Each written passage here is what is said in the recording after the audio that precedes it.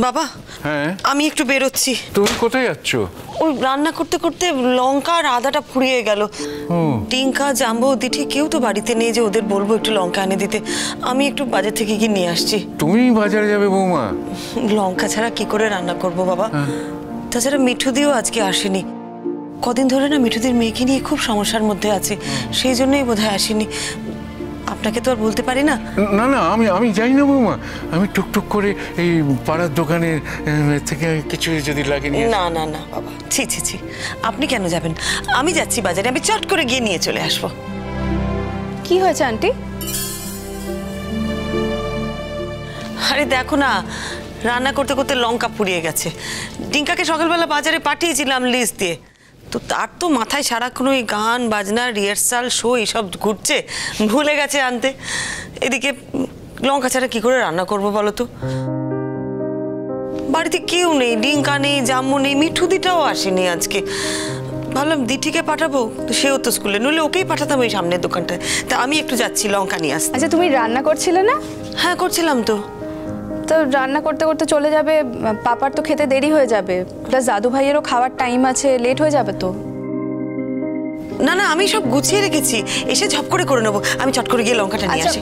ঠিক আছে ওয়েট শোনো তুমি রান্নাটা করো আমি গিয়ে নিয়ে আসছি। ওমা তুমি যাবে লঙ্কা আনতে সে কি? হ্যাঁ যাব। অনিরুদ্ধ তো ওর গাড়িটা নিয়ে বেরিয়েছে বাট পাপার গাড়িটা আছে তো আর ড্রাইভারও আছে। আমি টুক করে যাব আর নিয়ে আসব। এই জন্য বলি যে একটু বেশি করে স্টক করে রাখবে। বেশি করে আনলে এই প্রবলেমটা হতো না। রেখেছিলাম তো তিন চার দিনের মতন রেখেছিলাম আর কত রাখব বলো? এই জন্যই বিপদে পড়লে আরও বেশি করে স্টক করে রাখতে হতো। যাই হোক ঠিক আছে আমি তো রেডি আছি আমি ড্রাইভারকে গিয়ে বলে নিয়ে আসছি ঠিক আছে? তুমি বাজারে গিয়ে কি করবে? তুমি কোনোদিন বাজার হাট করোনি? তুমি কি সব পারবে? দাদু ভাই এতে পাড়াপাড়ির কি আছে বলো তো একটা দোকানে গিয়ে বলব যে আমার এই জিনিসগুলো লাগবে ওরা দিয়ে দেবে দ্যাটস ইট আমার খারাপ লাগছে অঙ্কিতা তোমাকে বাজারে পাঠাচ্ছি। অবশ্য বাবা ও- ও যদি যায় একদিক থেকে আমার কিন্তু একটু সুবিধে হয়। ঠিক আছে দেখো তুমি যা ভালো বোঝো তুমি করো আমি আর কি বলব। আমি তাহলে মাছ টাছগুলো কুটে রাখি বুঝলে? আর ওই সবজিগুলোও কেটে রাখি। কোনো মতে ডাল ভাতটা নামিয়েই চলে এসেছি। সকাল থেকে সবার জল খাবার করছিলাম একটু দেরি হয়ে গেছে তাই আন্টি কাম ডাউন এত কথা কেন বলছো? ঠিক আছে আমি কোনোদিন করিনি বাট করতে গিয়ে পারব না। নাথিং ইজ ইম্পসিবল আন্টি আর কোনো না কোনো দিন তো মানুষকে স্টার্ট করতে হয় নাকি? তা ঠিক। আমি যাই নিয়ে আসছি আমি গিয়ে। ও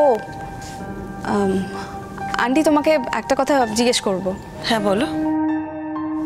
বলছি যে তোমার সাথে পাপার কোনো কথা হয়েছে কি আর? কি ব্যাপারে? ওই ডক্টরের চেম্বার থেকে ফেরার পর।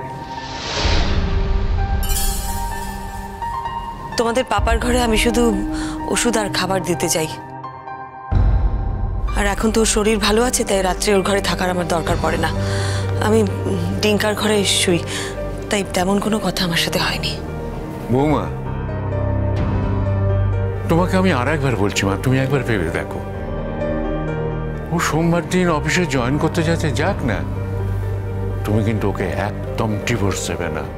ওকে নাকানি চোপানি খাইয়ে ছাড়ো। আবার কেন এসব কথা আলোচনা করছেন বাবা? ইনি আমি আর কথা বলতে চাই না। এই পৃথিবীতে সবার যেরকম মত আছে আমারও আছে। সবার যেরকম মান সম্মান রাখার অধিকার আছে আমারও আছে। এসব কথা এখন থাক না। অঙ্কিতা তুমি যাও বাবা আমার নইলে রান্নায় দেরি হয়ে যাবে। হ্যাঁ আমি যাচ্ছি। দাদু ভাই আসছি। জাম্মু কোথায় গেছে নাথবু ও ও তো আমাদের ওই পরীক্ষার সার্টিফিকেটগুলো এখনও দেয়নি তো সেই সব খবর খবর নিতে গেছে। ওগুলো সব ইউনিভার্সিটিতে পাঠাতে হচ্ছে বিদেশে ওই অফিসিয়াল ফর্মালিটিসের জন্য একটু ছুটোছুটি করতে হচ্ছে আর কি। তবে আজকে ও গেলে হয়ে যেতে বলে একাই চলে গেল নাহলে তো আমাকেও যেতে হচ্ছে। আচ্ছা আমি যাই দেরি হয়ে যাচ্ছে। আন্টি আসছি আমি টাটা। বৌমা এই নাথ বউকে আমাদের পরিবারের জন্য যতটা খারাপ অনুপযুক্ত ভেবেছিলাম তা কিন্তু নয়। বাড়িতে তো কখনো এসব করেনি। মানে দরকার পড়েনি করার সেই জন্য শেখেনি। আস্তে আস্তে শিখে যাবে। একটাই দুঃখ আমি ওকে হাতে করে তৈরি করে যেতে পারলাম না। এইসব কথাগুলো কেন বারবার বলো বৌমা? এই বয়সে না আমি এই কথাগুলো ঠিক নিতে পারি না আমার খুব কষ্ট হয়। ঠিক আছে বলব না। হ্যাঁ হ্যাঁ। তুমি তুমি আমার জন্য একটু চা পাঠিয়ে দাও বৌমা। আরে, ওষুধগুলো খেতে হবে তো দশটা দশ বাজে। আমার কাছে তো প্রেসক্রিপশনটাও নেই যে আমি ওষুধ খাব। প্রেসক্রিপশন নিয়ে রেখে দিয়েছ। আমি বুঝতেই পারছি না কি ওষুধ খাব। আন্দাজে তো আর ওষুধ খাওয়া যায় না। প্রেসক্রিপশনটা আমার কাছে থাকলে আমি নিজে নিয়ে খেতে পারি। দশটায় ওষুধ খাওয়ার কথা এখন মাত্র দশটা দশ বাজে। দশ মিনিট দেরি হয়েছে। দশ মিনিট দেরিতে ওষুধ খেলে ওষুধের গুণগুলো নষ্ট হয়ে যাবে না। এখানে একটা সমস্যা হয়েছে। সেটা সমাধান করার চেষ্টা করছিলাম। সেই জন্য একটু দেরি হয়ে গেছে। আনছি ওষুধ। সমাধান। আজ কেমন আছো? অনেকটা বেটার ডাক্তার বলেছে আমি ভালো। সোমবার থেকে অফিস জয়েন করতে পারব। শুধু অফিস কেন? তোমার তো অন্য বাড়িতেও জয়েন করার প্রোগ্রাম রয়েছে। আমি এই বিষয়ে তোমার সঙ্গে কোনো কথা বলার প্রয়োজন বোধ করছি না। যতবার এই নিয়ে কথা হয়েছে ততবার ঝামেলা হয়েছে। শোনো বুয়া তোমাকে আমি একটা কথা বলে রাখি। তুমি যদি এই বাড়ি ছেড়ে চলে যাও তা সেই কারণে যদি বৌমাকে এ বাড়ি ছেড়ে চলে যেতে হয় তাহলে কিন্তু তোমার বাবা তোমার কাছে চিরকালের জন্য মৃত। অ্যাট দ্য সেম টাইম তুমিও আমার কাছে মৃত। এই এক ব্যাপারে কাহা তো ঘ্যান ঘ্যান করে চলেছ। আমি জীবনে কোনোদিন শ্রীময়কে এই বাড়ি থেকে চলে যেতে বলিনি। কোন অধিকারে সে বাড়িতে থাকবে? কোন অধিকারে থাকবে? আমরা তাকে হাত ধরে নিয়ে এসেছি। তুমি তাকে বিয়ে করেছ? তুমি তাকে নিয়ে এসেছ? সে তোমার বিয়ে করে বউ। পৃথিবীতে কোন সংসারে স্বামী স্ত্রীর মধ্যে বনিবনা হয় না বলতো সেটা তোমার বুঝতে পঁচিশটা বছর সময় লেগে গেল। হ্যাঁ একটু সময় লেগেছে লেগেছে। কি করা যায়? আমার একটু বুঝতে সময় লেগেছে। না না তোমার বোঝাবুঝির কোনো ব্যাপার নয়। ওই জুনি তোমাকে চোখে আঙুল দিয়ে সব কিছু বুঝি কারেক্ট একদম ঠিক বলেছ। এই প্রথম তুমি ঠিক কথা বললে। ওই জুন আমাকে চোখে আঙুল দিয়ে সব বুঝিয়েছে। তার মানে এই নয় যে শ্রীময়ীর নিন্দে মন্দ করেছে। সে নিজের যোগ্যতায় নিজের দক্ষতায় বুঝিয়েছে সে কতটা আলাদা!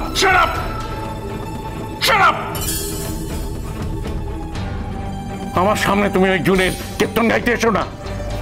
শুধু নিজে যাচ্ছ না আবার ওই দিদিটাকে সঙ্গে করে নিয়ে যাচ্ছ। হ্যাঁ।